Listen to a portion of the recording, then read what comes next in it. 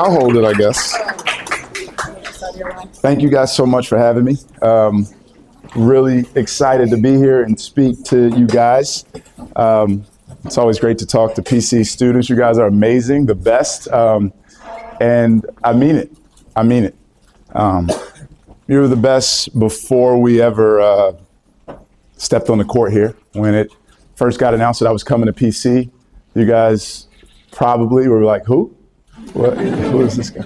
Um, but from the moment we stepped on campus, you've made everyone in our program feel uh, incredibly welcome. Um, and I wanted to thank you guys. Give yourselves a, a round of applause for that. Um, and it speaks to the experience at the college. It speaks to in the classroom, in the dorms. Um, when we got here in this age of college basketball, if a player can transfer, they do it. And honestly, if you think about, I probably shouldn't say this, but like if you think about it, it, it I won't say it. I, I won't even say it. But when we got here, thankfully, the kids that we inherited and we walked into, Bryce Hopkins, Devin Carter, uh, Jayden Pierre, Corey Floyd, these very, very gifted players. Luke Fonts, right? like Kieran, Kieran O'Hare. Like those guys didn't. Luke gets an applause and Kieran gets a laugh. Kieran O'Hare. Yeah, yeah, yeah. Um, none of our players wanted to go anywhere. Organically, naturally, like before we started recruiting them, before we started showing them video of the way we play, the way we played at George Mason and Tennessee, they didn't want to leave. And that's an incredible testament to everything that this college stands for. And it's an incredible advantage as we continue to build teams and rosters. I, I, I sent our guys a long text. I was in Phoenix for the weekend with meetings, and um, I, I kept my body on East Coast time, so I was getting up really early. And I sent our guys a really long text the other day. Um, and I thought it was important like right now in college basketball, what's everyone talking about? What's the P word right now? The portal. Every who are you recruiting? Who are you recruiting? The portal, the portal, the portal, the portal, the portal. Who are you getting that portal? The portal, the portal, the portal, the portal. And but I told our guys like what's truly special right now in college basketball is retention. Is retention. You know, the fact that we got Bryce Hopkins back and Corey Floyd back and Jayden Pierre back and and Richard Barron back and Justin Fernandez back, like and Luke and Kieran back, like that's the like yeah, like we're gonna get good players to replace Devin and replace uh, Ticket and Josh and, and the guys that some of the guys that that you know decided to leave us, but this place is special, and um, everything I just talked about was before I even talked about the atmosphere at the AMP on game day. It's, it's, it's, it's unreal, guys, and I mean it. And I hope we never lose it. Uh, I'm going to protect it with my life. I don't want you guys to change. I just want you to keep getting better and more crazy and loud because the support that we have means so much. It means so much in terms of wins and losses. Um, it means so much in terms of the environment that we have when we bring kids to see us play. I don't know if any of you guys came to the Garden for the Big East tournament, but it was it, it was incredible, and I just really wanted to come. I, I came to talk about Jesus, but I, I, did I did come to talk about Jesus, and I will, I promise. But um, I really just wanted to come and look you in the eyes and say thank you to every last one of you um, for all your support this season. We came short of our goal and our mission, but um, we're going to give it all we have to give you guys a team and a program that you can be proud of playing deep in the March next year. So thank you guys. Um, and I'll, I'll open up for questions after this, but I, want, I do want to make a point about Jesus. Um, and I, um, I spend time with the Lord every morning. Uh, Father Jordan's on a group of good friends. I text every day, a devotional uh, from a pastor from Minneapolis. His name's John Piper. Um, and I challenged John Piper once via email for his lack of speaking up when George Floyd got his neck kneeled on for nine minutes a few years back. I, I called him out, and he made a post about it a few days later. Um, but this is what I'll talk about with Jesus. Um, it's this. It, it's and surely one of the friars in here can help me. I'll stay here. Uh, what Revelations? What when we talked about being lukewarm? Revelations. Well, the, the number, but I know what happens. Okay. Okay. I got. I got you. I got you. I got it. I got it. I got it. So like it's just like Rev. Sorry, I'm. Yes. Revelations three twenty three maybe ish. Rush. Okay. Okay. Okay. And he says, he says, I'd rather you be hot. He said, I'd, he said, I'd rather you be cold. He said, I'd rather you be cold. Basically, and I tell this to our guys, I told it to our guys before one of our home games about not being lukewarm. Don't just show up. Don't just have your parents pay thousands of dollars for you to come, tens of thousands of dollars for you to come to college. And don't just show up. Don't just play basketball. Don't just don't just come don't just step on this court and go through the motions to get through practice, right? The Bible says God said if you're lukewarm, he said I spit you out of my mouth. We should be on fire. We should be on fire as people that walk this earth if we know what he did for us on Calvary. I can't even conceptualize it. I can't even conceptualize sending my daughter to death for sinful people. This perfect 33 year old man who lived a perfect life, who walked a perfect life, who helped people, the Lamb of God, the Son of God, he sent him here to die an awful death for us. I'd rather you be atheist. I'd rather you quit our basketball team. I'd rather you enter the portal than to step on this court, than to walk this earth and not be on fire for Christ. Absolute fire. Um, and that's my message about Jesus. Um, and I um, and I'm stuck there. I'm stuck there. I stay there. I'm like, that's where I am. I'm like, he did all these great, but I, I just I just keep thinking about that level of sacrifice and what it meant to the world. Uh, I think Father Jordan and I were talking the other day. We really we took it all the way back to Genesis, right? Like it's so the Bible's so good. Like like when when and you got to really you have to read it right? You really have to read the word and what's it say. When adam and eve they were naked they they were they were walking the garden and and and they eat from the tree right? They eat from this wooden tree like they shouldn't. And god presents himself in the garden. And you know what adam did immediately? He hid himself. He hid himself. And god said Adam, why are you hiding? He said, Why are you hiding? What's that? He gives him a chance to repent right then. He said, Because I'm naked. And God said, Adam, who told you you were naked? He said, Did you eat from the tree? So sin from that tree. Father, help me. We, and, and, and Jesus on Calvary returned to wood, a tree, a wooden cross, returned sin. He wasn't sin. He wasn't sin, but he took all of our sins to the wooden cross. He reached for the apple with his hand. He pinned his hands to the cross. Um, but thank God for three days later. Thank God that that he uh, he, he he he he defeated death. He defeated death so that we, thankfully, if we know him, if we know him, uh, we won't know death either. Um, so, questions.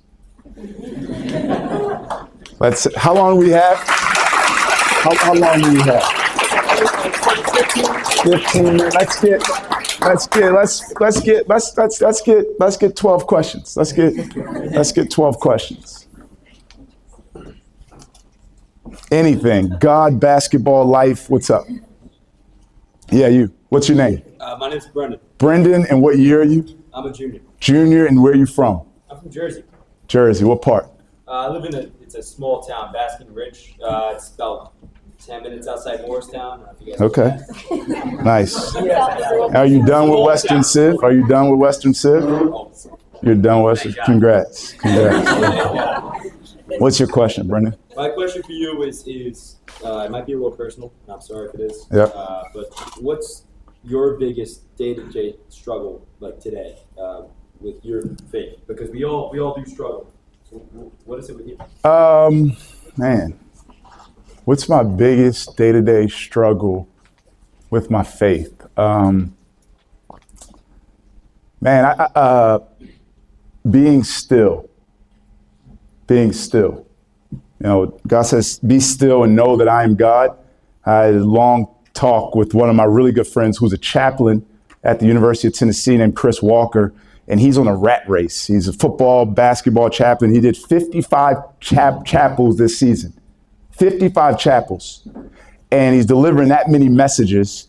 And he's like, he's so consumed with delivering a message to you and getting it across to you, he's kind of lost his relationship with God. And um, Father, sometimes when I send those messages, I don't read them right then.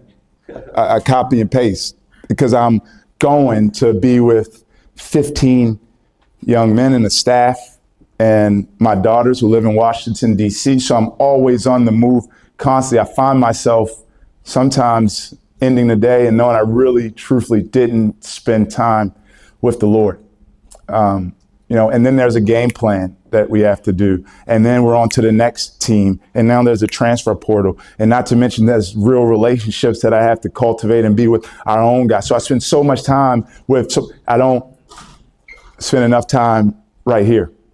And uh, I, I, I- I have to do a better job of being pre- present. You know, follow up. I have a follow up question. Yeah, it's just like the uh, White House press briefing. But let's go. You get one follow up, okay? Yeah. It's all good, I swear Yeah. So what do you do to, to kind of mitigate that? Yeah, I know. I do try. I try to get on my knees and read that message before I send it, you know, but sometimes I'm all over the world and waking up in different time zones. And I'm, uh, you know, uh, I do spend a lot of time listening to praise and worship, you know, Maverick City music, but that's different than the word. It's the word. Like, I think you have to be, and you can pray, prayer is great, but the word, you know, I think is, is so important. Great question. That. Yes, come back to you. Yes. What's your name? Where are you from? What year? Um, I'm Callie Harvey. I'm from Worcester, Mass, and I'm a junior. Okay, Callie, what's your question? Were you always like very strong in your faith, like even growing up, or was there a time where like it just kind of like hit you? And like, what helped that? Like, what helped grow your faith? Yeah, I was strong in my faith. I grew up in the church. I grew up in the church. My mother's uh, AME, African Methodist Episcopal. My father's Baptist. I went to Catholic school growing up, Calvert Hall College in Baltimore, Maryland, and Towson Catholic High School in Towson, Maryland. Um, so I was always around the word. We're in college. You I went to church a lot. Uh, um, I, I, I kind of midway through my career, I stopped going to church as much.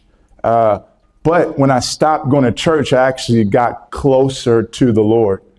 When I went to church, it was kind of like I would just listen to the message on Sunday.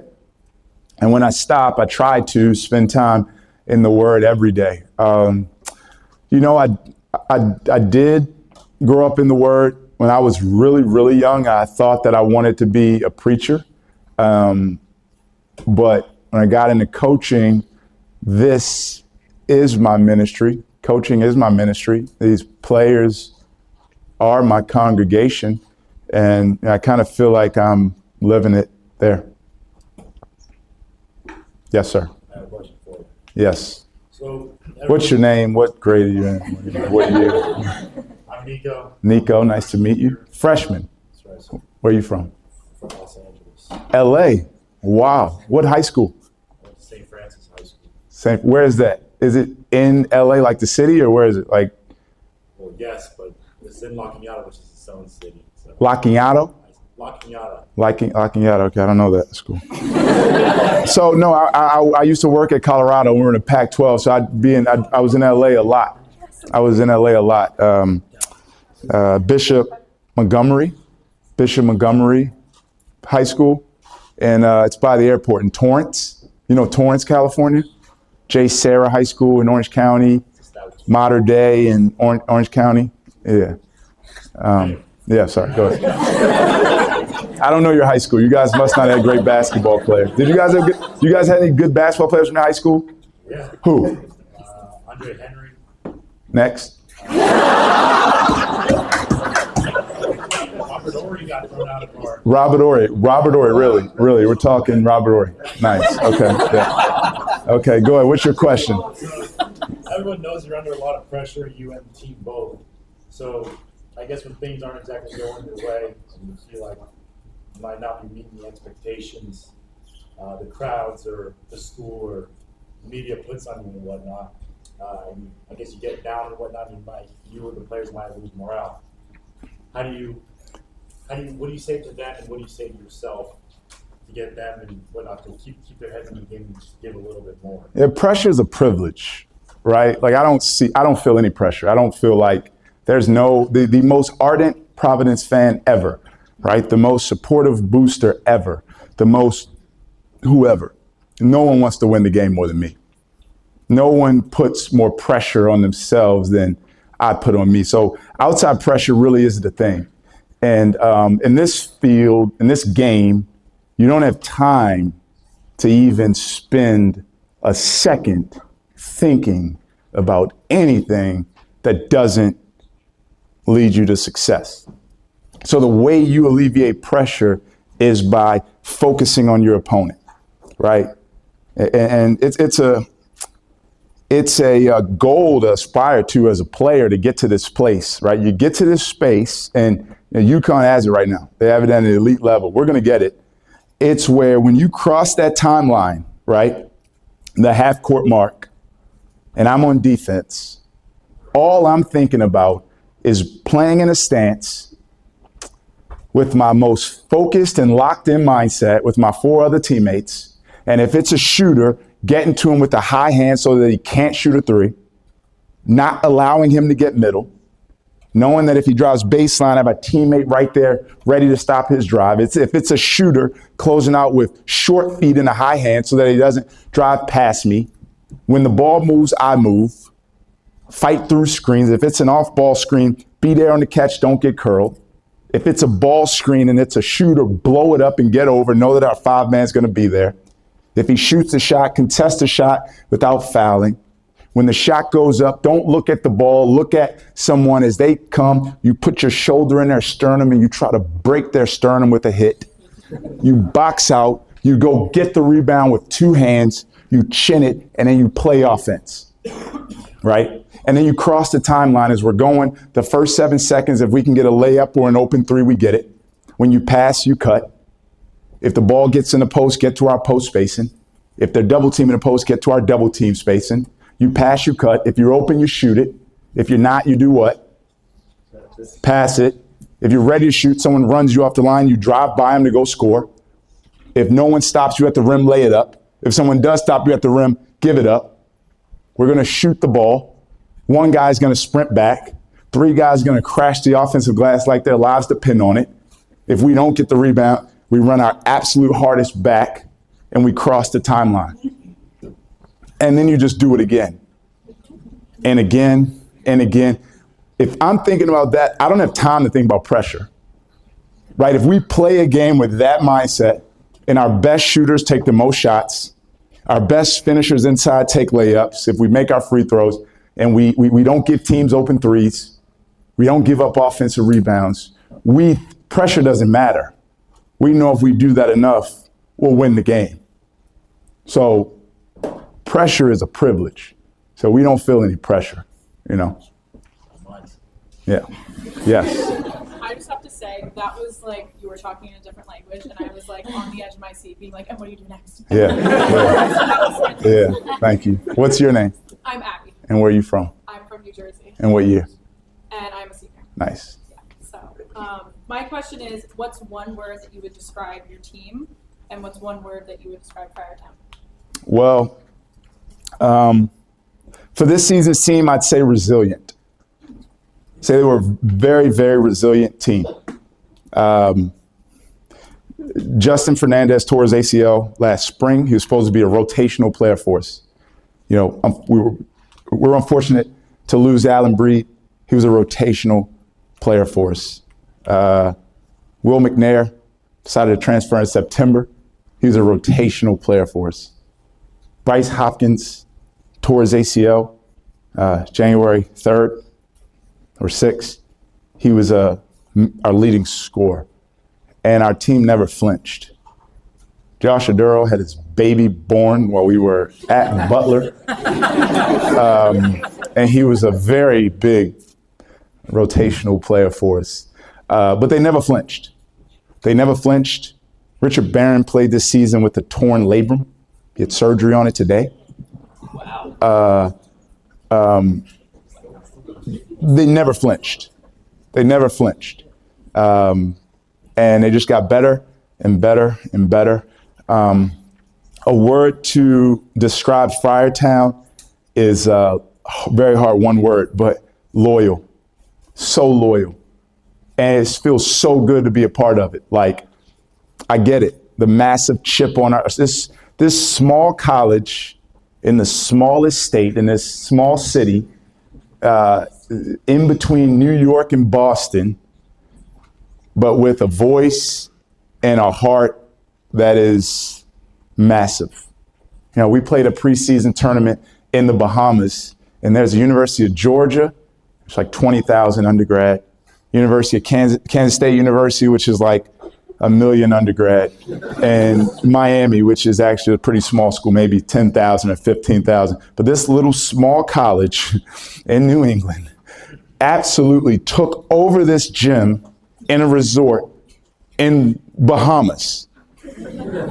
And we lose to Kansas State, double overtime game, play better, fights. It was crazy. We lose by three in overtime, and I'm walking back to my room. Like when we lose, I'm embarrassed. When we lose, I think, I'm serious when I'm about to tell you, I think I'm going to get fired the next day. I'm serious. Every single loss, I'm walking in like, uh, like it's the worst feeling ever. It- it's the worst feeling in the world. I don't go to lunch on campus. It's like I'm, I'm like I'm like I don't deserve like it's the worst feeling to lose. And I'm walking back to our our, our hotel room. I'm just having my head down. I'm just like embarrassed. I don't want anyone to see me. And Friar fans are like coming out like, great game. I'm like, what? like, you got them tomorrow. We'll get G- Georgia. Uh, An incredible feel and vibe. And the next day, again, we just lost. I'm walking into the game. I'm like, it's nobody gonna, no one's gonna be there. Let's just lock into our process, just play well, we'll win. And we walk onto the court, and you would have thought we won the last game. Like more Friar fans there. I mean, it- it's incredible. I mean, we lose. We, we're, we're, we're fighting for our NCAA tournament lives. We lose the game to Villanova in the end.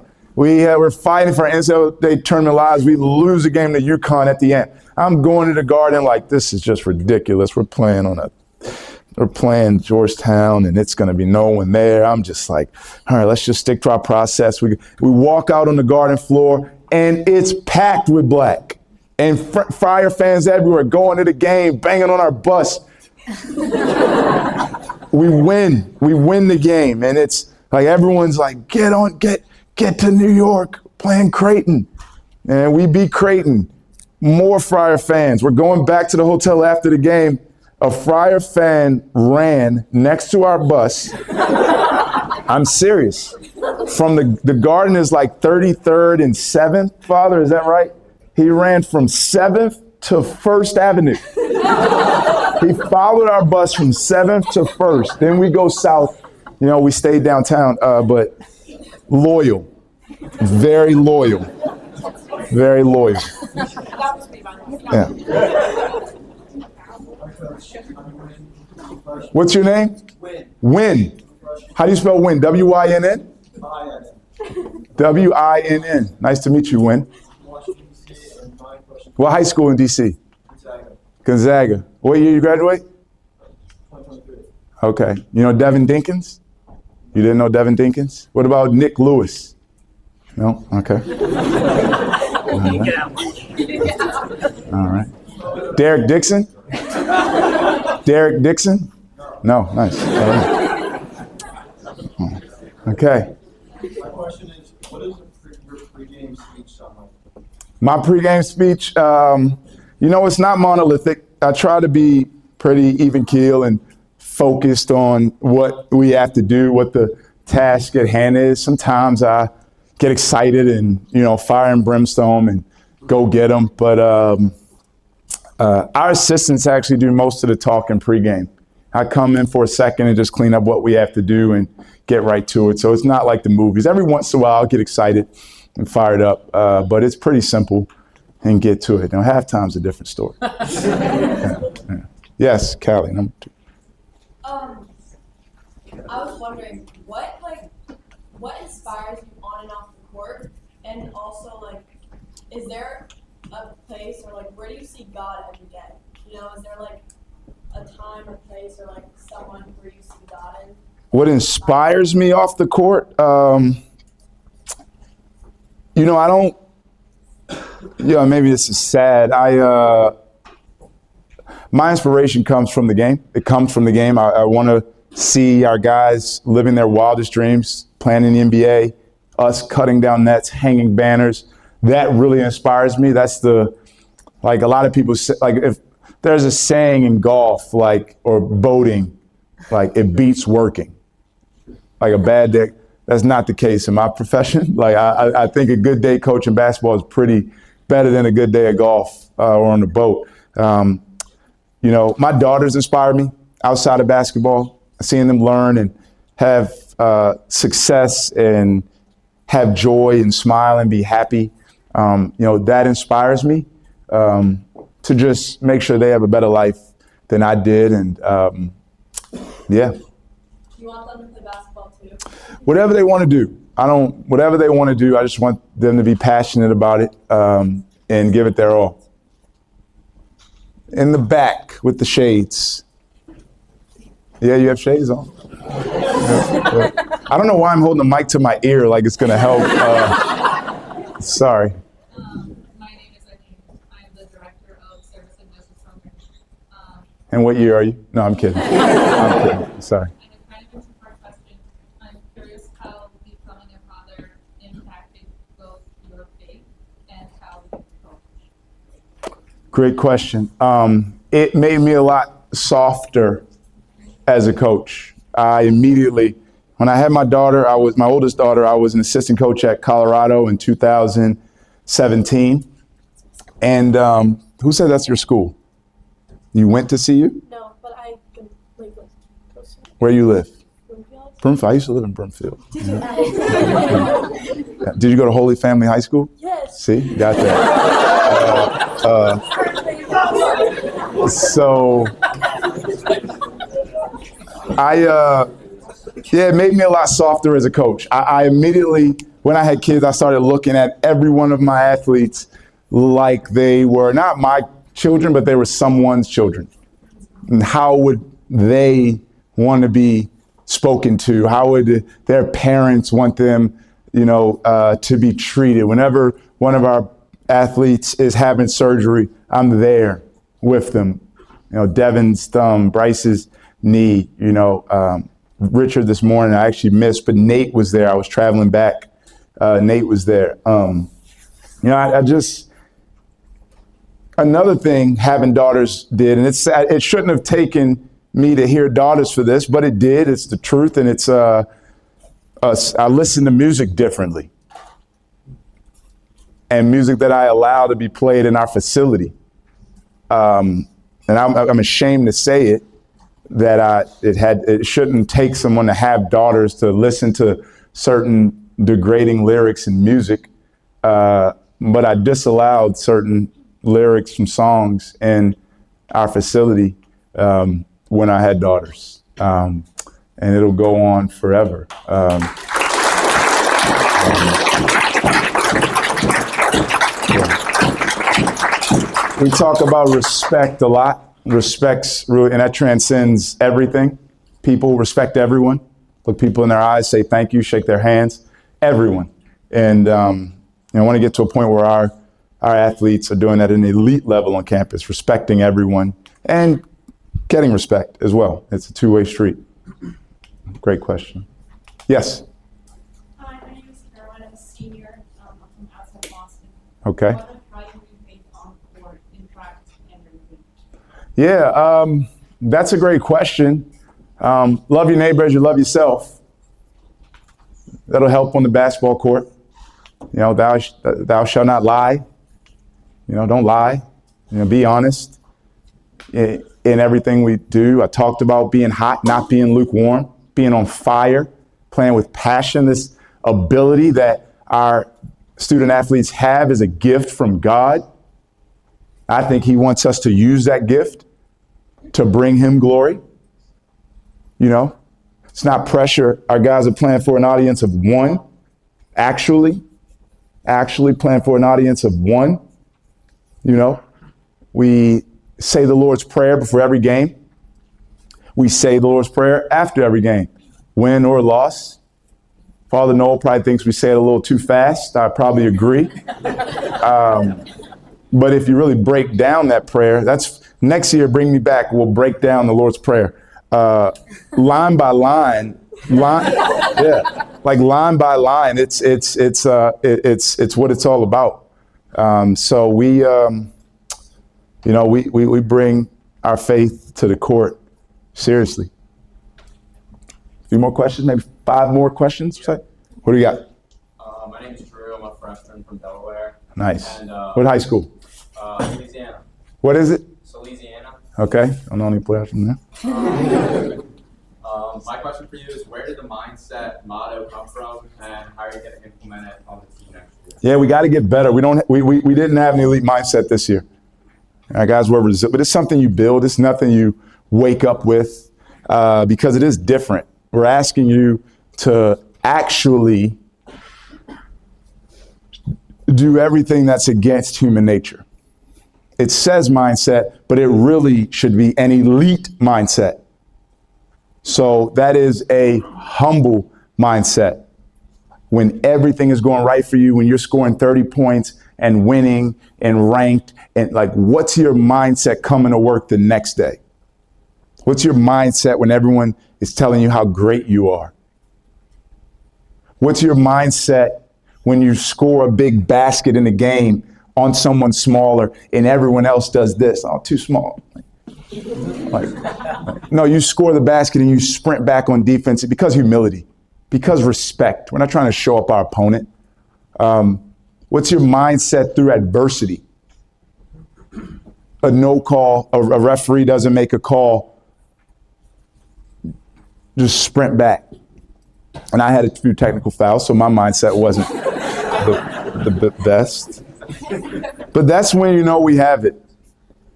My last team at George Mason, it was turning. The mindset was becoming elite. My players would come to me during the game and clap twice and say, Yo, mindset. And that it's supposed to put a trigger in your mind to get back on focus. Human, human nature sets in. Not ask you to be per- perfect, you know, but we're asking you to respond to injury, respond to pain, respond to adversity, respond to success with an elite mindset every day. A mindset of focus to execute a play perfectly, to not have any game plan mistakes. You know, so it's a, it's a, it's a, it's a, it's something we're trying to get to. You know, a few times this year, I told TJ Grams, our director of basketball operations, I told him I wanted him to cover up the sign in our practice gym a few times this season. But John Sweeney, it was like ten thousand dollars uh, per forklift in the Ruane facility. So I said, okay, we're not going to cover it up. But, you know, I, I, I wanted to cover up mindset a few times this year. Um, you know, I, it's, it's, uh, it's not there yet, you know, and it's lot less of a motto and it's going to become a mantra, you know. So, yeah. Four more questions. My man right here. Um, so my name's Rob. I picked him, but we'll go ahead, Rob. No, you're good. I, I, I, no, you're good. You're good. You're good. Let's do it. Yeah, you. I, I did pick, but we'll go with you, Rob. So yeah, my, uh, my name's Rob. Um, I'm a sophomore. I'm originally from Rhode Island, and then I to Naples, Florida last year. Nice. Um, so my question for you is, um, if there is one Bible verse that strengthens your devotion to the Lord the most, which would you say it is?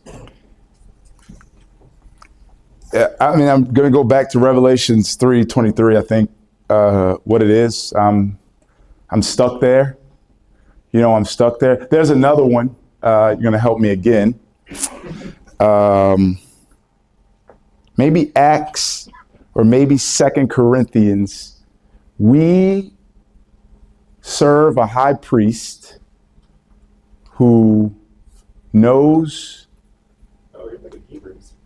he we serve a high priest who knows everything. He's won everything. We don't Yeah, yeah. Uh, who's passed through the heavens. Is that your thinking hold on. That's Hebrews. Definitely Hebrews. Hold on one second, Rob.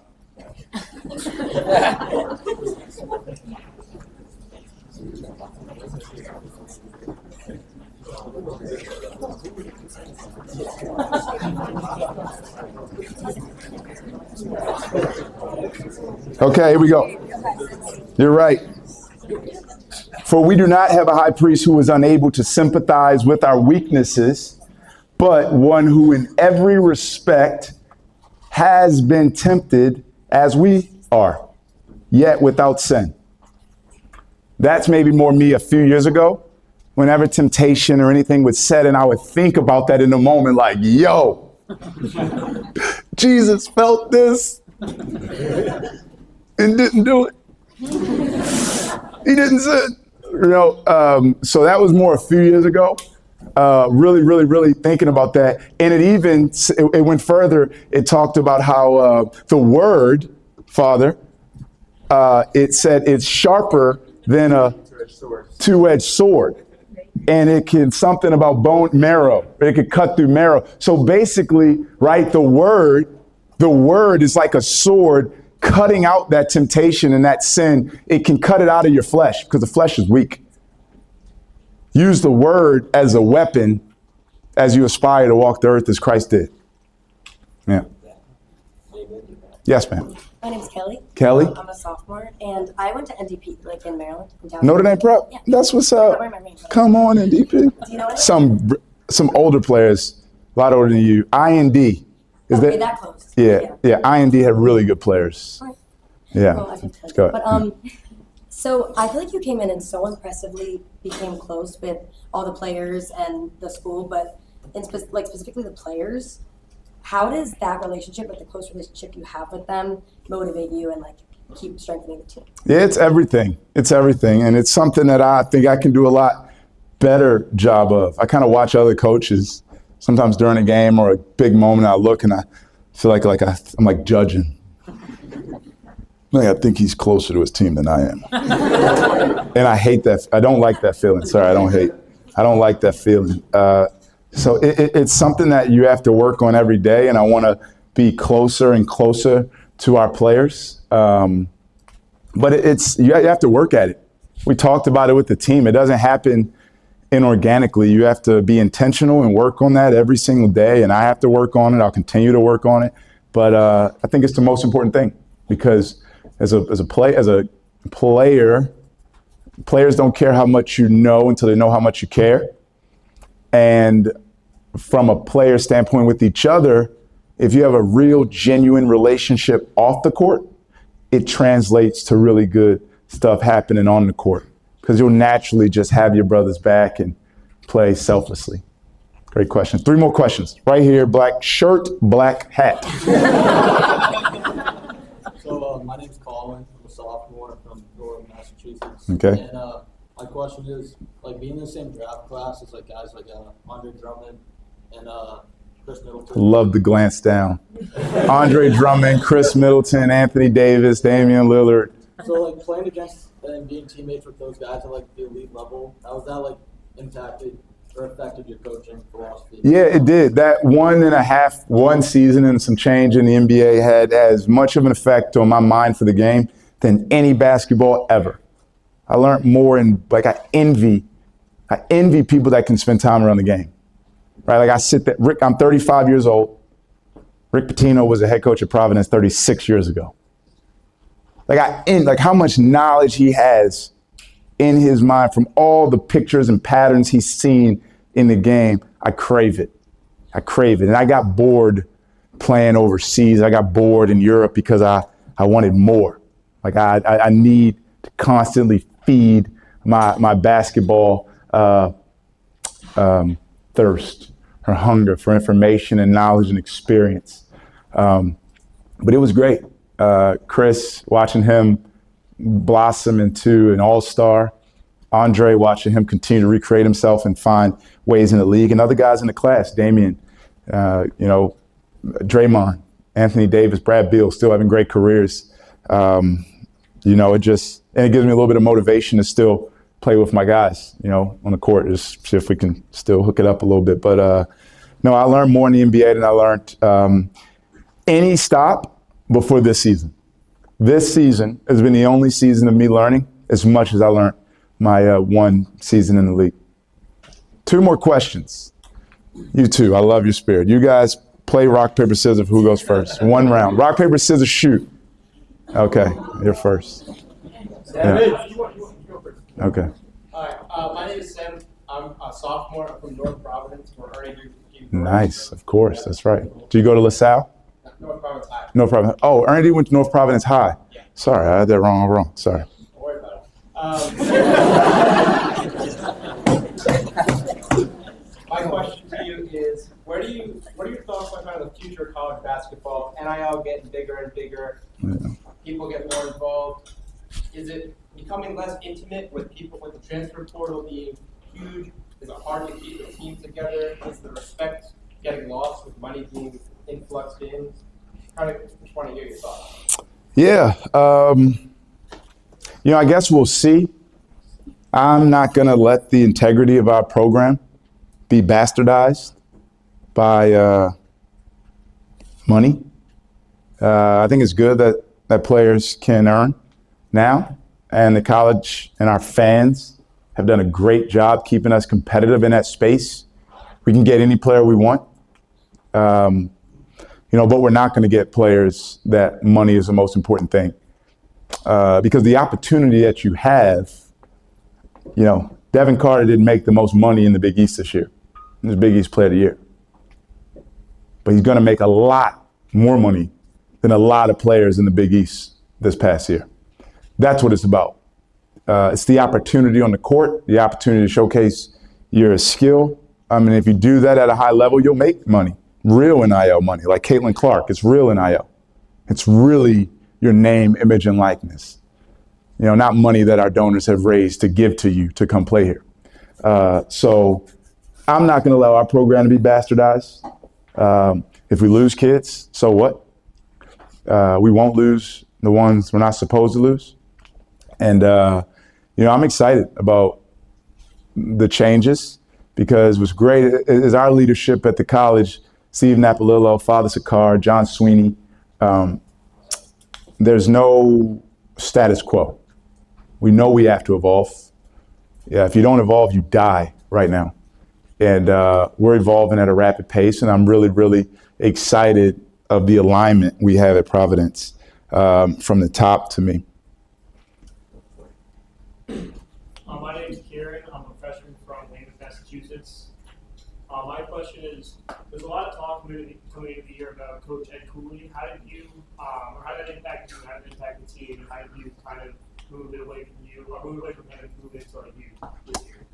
Uh, I didn't think about it really, truthfully. It had no impact on us and our team.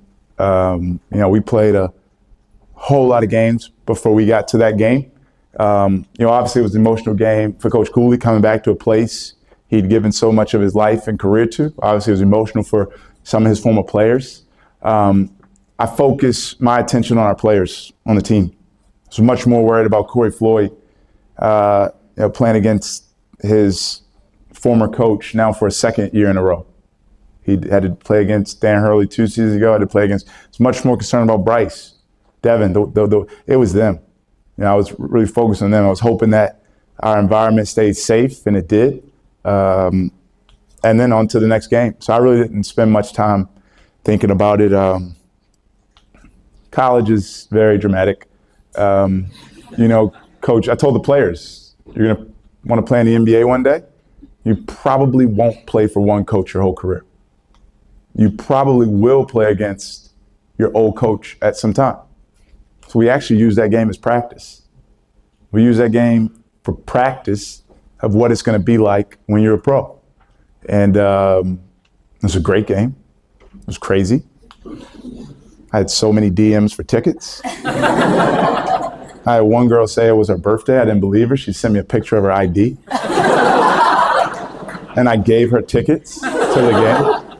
Uh, so many DMs for tickets. But uh, yeah, appreciate you guys for having me out.